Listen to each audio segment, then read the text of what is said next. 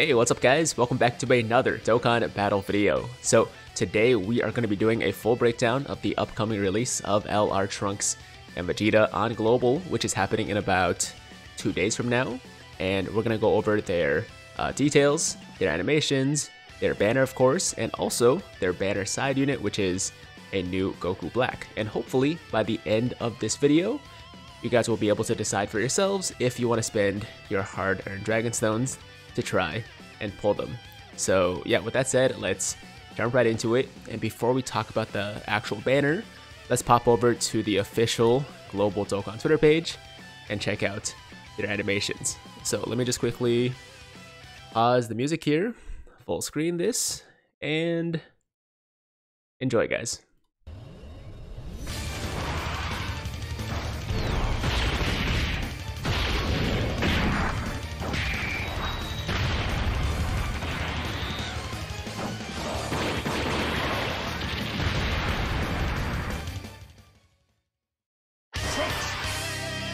Think this is the end.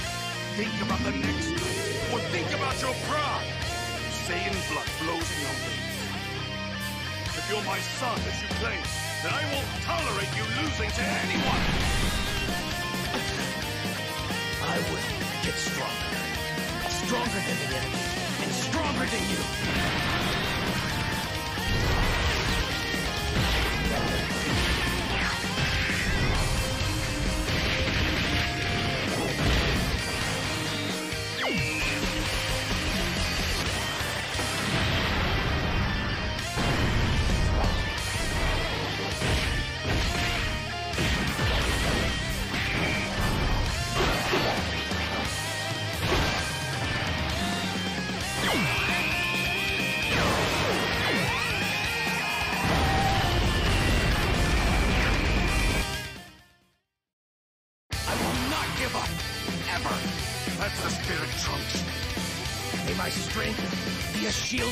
World and for all of humanity. I'm putting all of our hope into this one blast. Don't underestimate Moses, and especially not the Saiyan. Take this!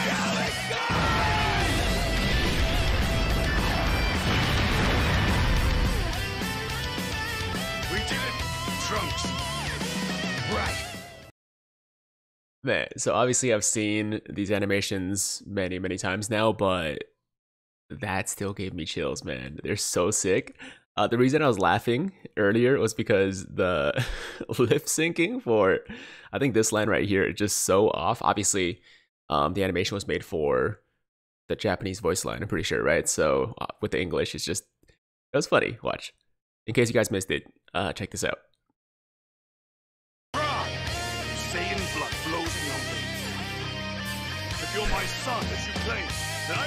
This man's mouth just keeps moving for like an extra two seconds.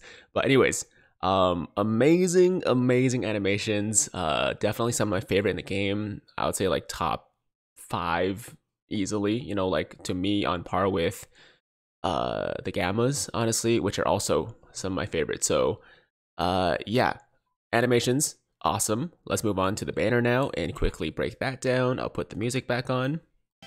Okay, so uh, this is the banner that dropped on JP, of course, for the Trunks and Vegeta. And I think the global banner will probably be exactly the same because I don't think any of these units were recently featured on a global Dokkan Fest banner, so there's no real reason to switch out anybody.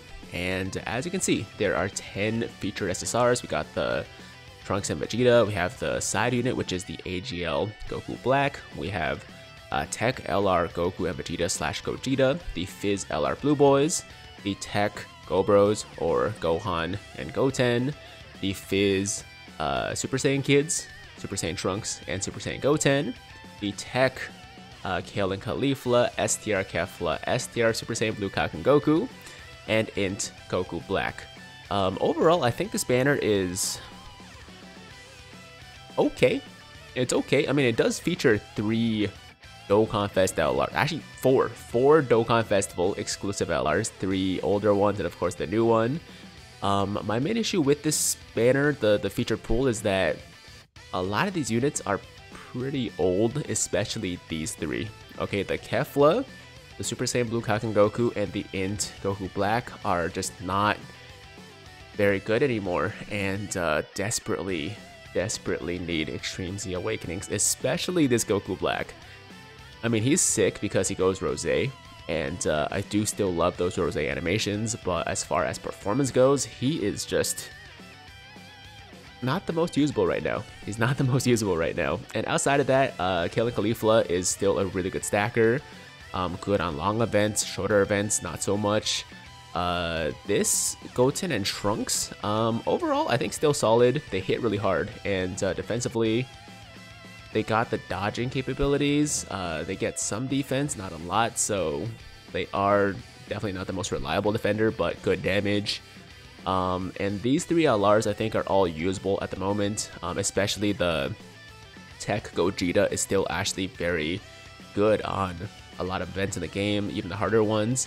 Uh, the Blue Boys, um, defensively, I feel like are a liability.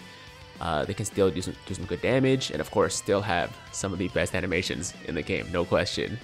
And the Go Bros, um, decent, decent, but older on the older side for sure. One of the oldest, or yeah, one of the oldest Dokkan Fest LRs in the game, right? I think so. So yeah, these guys could use an Extreme Z Awakening as well. Um, not to say they're terrible, but they're definitely not amazing anymore. So my point is, uh, if you guys are missing a lot of these units, obviously like how good a banner is does depend on, you know, the player themselves, right? Like how many of the units they, they need, how many they are missing. Um, if you are like me and you already have most of these guys rainbowed, then it's going to be a really bad banner for you. Um, for most people though, for the average free-to-play player, I think it's a solid banner. You know, I would give it like a 7 out of 10, you know, 7.5 maybe because of all the Dokkan Fest LRs but I definitely don't think it's overall that exciting. Um, of course, the new Trunks and Vegeta, I think most people know, are amazing. We'll talk about their details in just a second, but they are extremely, extremely good. Uh, a top five, top three unit in the game right now. And uh, yeah, overall banner, not bad, not great, solid, decent, right? So that is the banner, which we can expect to see uh, on Global as well as JP, or, you know, was on JP, eventually on Global in about two days. And now let's jump over to the unit details, of course starting with the main unit, the Trunks and Vegeta, the Galick Gun Trunks and Vegeta.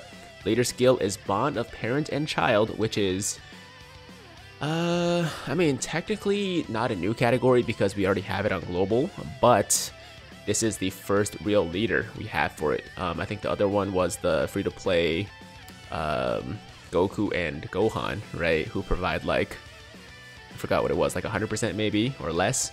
These guys are the first real leader for the Bond of Parent and Child category or Future Saga. Category Ki plus 3, HP attack and defense plus 170%, plus an additional HP attack and defense plus 30% for characters who also belong to the Battle of Fate category. Super Attack raises attack and defense for one turn and causes colossal damage, and 18 Ki Super raises attack and defense, which can be stacked infinitely, and causes mega colossal damage. Passive activates the entrance animation once only, and Ki plus 2 and defense plus 70% and guards all attacks for 5 turns. From start of turn when there is another bond of parent and child category ally attacking in the same turn at characters or sorry at start of characters attacking turn. Ki plus 2 attack and defense plus 140% and launches an additional attack that has a medium chance of becoming a super attack, plus an additional Ki plus 1 up to 5, and defense plus 15% up to 75%, and chance of performing a critical hit plus 7% up to 35% with each attack received, plus an additional attack and defense plus 70% and guards all attacks as the first attacker in a turn. And their additional boosts are calculated separately. So they're getting, uh, let's see, a total of defense plus 320% after receiving 5 or more attacks during battle, plus an additional defense of up to 565% for 5 turns as the first attacker in a turn, and defense boost of 442% starting from the 6th turn. So essentially, the point is, they get a lot of defense and they stack defense on their 18k super. So in the long term, they're going to get extremely, extremely tanky on top of the fact that they're getting guaranteed guard as the first attacker in a turn. So just an amazing defensive unit that also has a ton of offensive potential. And uh, that's what makes them one of the best units in the entire game. Some people still argue they're the best unit. I'm not to get into that in this in this video right here, but what I'm here to tell you is that they are definitely um, top top tier. You know, definitely, unquestionably, one of the best units in the game. Uh, you will not be disappointed to have them on any of your teams that they fit on. Speaking of which, let's talk about their other details real quick. The active skill is the Father-Son Galick Gun, which you saw in the animations. Massively raises, attacks temporarily, causes ultimate damage. Within the turn activated, all attacks become critical hits and raises all allies' defense by 20% for one turn. And it can be activated when all allies attacking the same turn are Future Saga category allies starting from the third turn from the start of battle, or when HP is 50% or less starting from the fifth turn from start of battle, of course, once only. Links are Saiyan Warrior Race, Super Saiyan, Royal Lineage, Dismal Future, Prepare for Battle, Fierce Battle, and Category, sorry, uh, Legendary Power and categories are Future Saga, Time Travelers, Join Forces, Vegeta's Family, Bond of Parent and Child.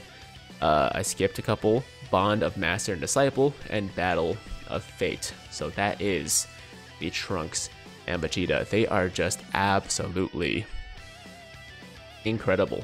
I mean, they uh, performance-wise are up there with any of the top units in the game. Like I said, they're just they're just monsters, man.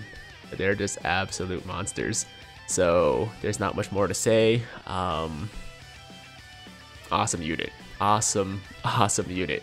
Next up, we have the AGL Goku Black, who still, in my opinion, has one of the worst TUR arts in the entire game. Like, I would not have been surprised if someone told me that this was a free-to-play Goku Black. He just looks really basic, you know? Like, it just, something about it looks really cheap. Looks really cheap. Um, leader skill, Future Saga, category Ki plus 3, HP attack defense plus 130%, super attack raises attack defense for one turn and causes supreme damage and Seal Super Attack, passive attack and defense plus 100%, plus an additional attack defense plus 25%, with each attack received up to 100%. Attacks effective against all types, starting from the turn in which the character receives the fifth attack in battle. And Future Saga, category allies, Ki plus 3, attack and defense plus 40%. So very good support right there. Uh, links are Cold Judgment, Fear and Faith, Nightmare, Prepare for Battle, Dismal Future, Big Bad Bosses, and Fierce Battle and categories are Realm of Gods, Batara, Future Saga, Time Travelers, Inhuman Deeds, Corroded Body and Mind, and Worldwide Chaos. So, um, all I can really say about this guy is that he's solid. You know, he, he's he's a decent side unit, but he's definitely not on the level of like these banner side units we've come to expect, like the STR Piccolo. You know, like he just is okay. Um, the passive is really basic. It's a really, really basic passive. It feels like a unit from maybe a couple of years ago, not like a 2022, you know, November 2022 release. Um, so like he's fine, but doesn't really stand out in any way. The only thing I really like about him is the fact that he is an amazing support unit for Future Saga. Um, so you know, I'll probably run him just because I like having at least one to two supports on every team I build, um, whatever possible, right? So, yeah, I like the support. Otherwise, uh, he's not really doing anything else that like makes him that interesting. He's just a really basic unit with a really basic uh, card art. Like, I don't understand how this is a new TUR. Okay, I know I'm obsessing over it too much. It doesn't really matter. It really doesn't, but yeah, just a really you know, lame art. Anyways, um, that's it. That's the Goku Black. Nothing crazy about him. Nothing too special. He's gonna be fine. Um, good support. Uh, that, that that's kind of it. You know, the sealing will be clutch in some events like Super Battle Road, for example. Uh, I don't think he gets enough defense to really tank too many hits. Um, his damage will be okay because the attack's effective against all types, but I wouldn't also expect like for him to do much damage uh, either. So he's just fine. He's just fine. So those are the two new units, guys. Of course, this is definitely the one that is far, far more exciting and far more impressive. And uh, the banner, it's okay. It's okay. And the animations are incredible. Incredible, incredible animations. Just uh, some of the best in the game once again. So at this point, uh, I've given you guys all the information hopefully you need to make a decision for yourselves. Um, when it comes to my recommendation about what I feel like you guys should do, it's a bit of a tough one because there's some rumors out there that Beast Gohan is around the corner. We don't know for sure. Okay, I don't think there's anything confirmed yet, so he might be coming in December. He might be coming in a few more months, right? So all we really know right now is that Beast Gohan is coming. So if you guys want to have a lot of stones for Beast Gohan, then obviously you should be saving primarily for him, right?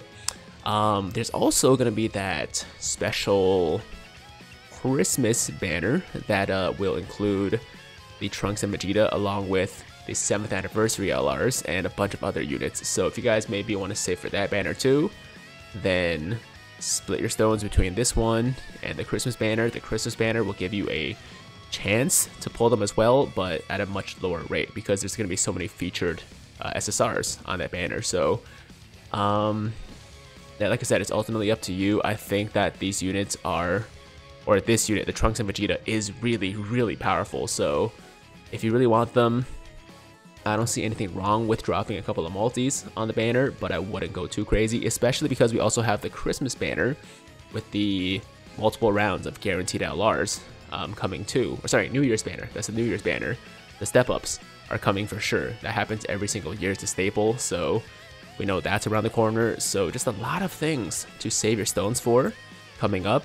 And as exciting as this unit is, as amazing as they are, I wouldn't blow your entire stash of stones on this banner. That's that's what I'll say. Um, I would definitely be aware of the other things that are coming. I know it's kind of tough too, because a lot of you guys probably blew your entire load on the Heroes banner, right? So uh, you're probably already low on stones.